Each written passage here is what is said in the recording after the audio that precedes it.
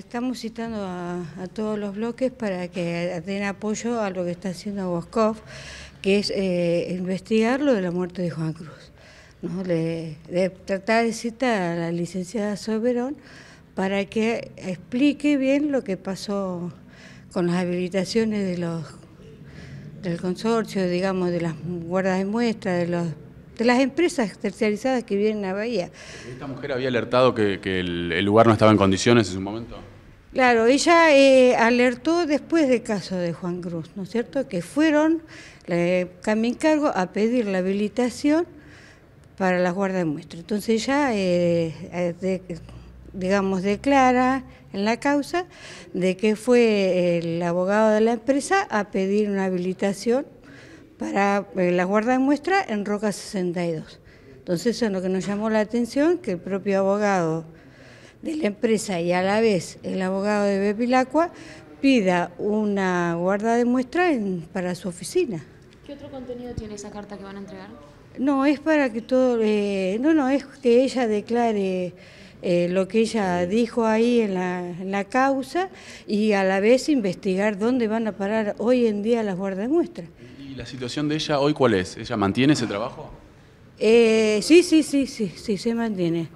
Y esperemos que siga. Lo que pasa que, bueno, calculo que la deben haber, eh, haberla, no sé, haberle dicho algo sobre sus declaraciones, pero ella, si va a declarar lo que realmente pasa, yo creo que es una mujer justa. Porque después de lo de Juan Cruz, el municipio se tenía que haber preocupado dónde van a guardar las muestras.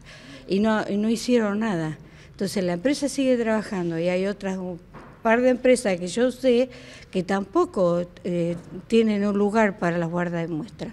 Entonces que investiguen a dónde van a parar, en cómo viajan las muestras, a qué laboratorio, ¿no es cierto? Si es a Buenos Aires, en qué se trasladan, porque el mismo Segre dijo que las iba a mandar por, eh, por Balmar, por un transporte que no está preparado para eso. Entonces todos pedimos que ayuden a Bosco a, apoyar esto, a que venga ella a investigar y seguir la, investigación de dónde va. ¿Cómo se hace para seguir después de tantos años, digamos, con, tantos trámites burocráticos, papeles, trabas?